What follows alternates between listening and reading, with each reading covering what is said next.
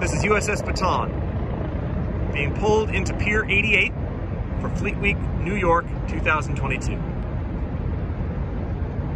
Hey guys, here we are at Pier 88 in New York City. This is USS Bataan.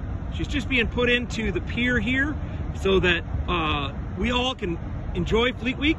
There are about 1,600 sailors posted, uh, 1,600 sailors and Marines, in, in fact, who are posted to this ship, and they're going to be on duty ready to in invite you into their floating home and so that you can check out what this ship is and what it does.